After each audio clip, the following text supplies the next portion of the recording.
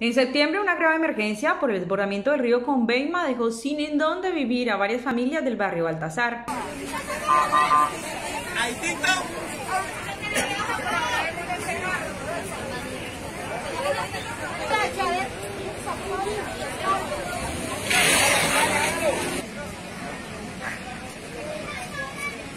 PIC Noticias hizo seguimiento a toda esta calamidad y las necesidades que enfrentaban, entre ellas la reubicación. Por allá, pues allá no se puede ni pasar para meterse una, tocó que dejar las cosas mías encerradas porque no se puede ni pasar para allá. Comenzó a la madrugada a crecer el río, pues comenzó a avanzar, a avanzar y me tocó sacar a la mujer y al niño y no alcancé a sacar las cositas y a quedaron y pues ya se las va a llevar todo con la casa.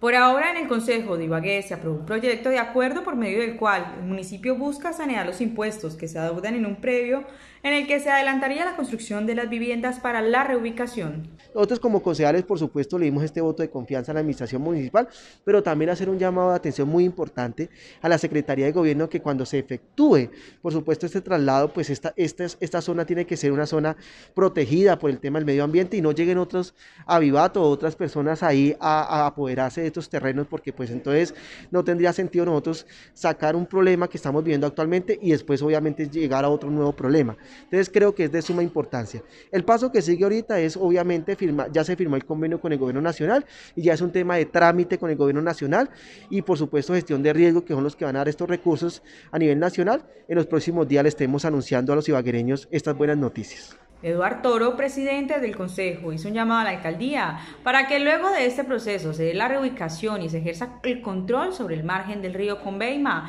para evitar que nuevamente personas invadan los terrenos ubicados en la Comuna 1. Claro, ya es un trámite administrativo con el gobierno nacional, por supuesto, pero ya el gobierno municipal acá Ibagué, el alcalde con el consejo, ya le cumplimos y era, por supuesto, exonerar eh, de impuestos un predio en la comuna nueva donde van a ser ubicadas estas familias y que, por supuesto, van a tener definitivamente una solución. Se espera que la iniciativa permita en el año 2023 la entrega de cerca de 150 viviendas a las personas que han sido afectadas por el desbordamiento del río Conveima y los constantes deslizamientos de la zona. El convenio entre la Unidad Nacional de Gestión de Riesgo y la Alcaldía de Ibagué permitiría la inversión de más de 14 mil millones de pesos en la reubicación de los hogares que se encuentran en zona de alto riesgo.